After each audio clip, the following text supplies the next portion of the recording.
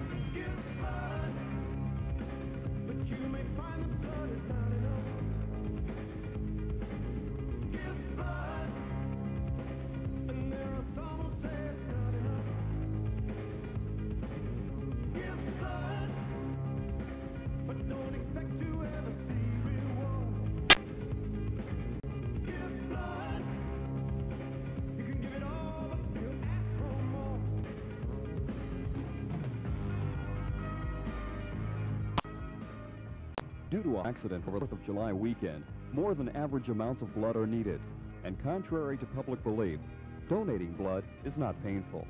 Well, giving blood is, is a good feeling. A lot of people say they come out, they feel so much better, they feel good. It's a good feeling. They help the community, especially for your high school students. It's really good. Students get a good feeling in helping their community. As far as receiving blood, probably no one's happy at the time when they get it, but it's a good feeling to know that it's there if they need it. Many people are concerned about diseases when they hear about blood donations. But according to the blood bank, there's no need to worry. There, the needle and the bag is all self-contained. We take it out of a plastic wrapper. It has never been used before and will never be used again. Once the, the donation is over, the needle is cut off and put in a bio bucket to be burned. There's a lot afraid of AIDS now that this big um, thing about AIDS has come up, but there is no reason to ever fear of giving blood. You cannot get AIDS or any other disease from giving blood. Ice Cream Sundaes, 95 YNF t-shirts and license plates were given away free to donors, while air personalities Robert Reed and J.J. Lee broadcast live to urge listeners to donate more blood.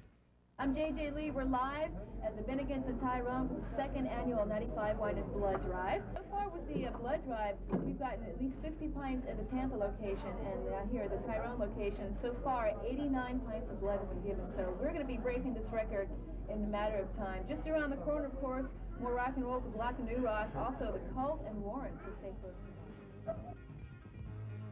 The citizens of Tampa Bay donated over 300 pints of blood, breaking daily records and providing a much-needed blood supply for the community and Southwest Blood Banks of Florida.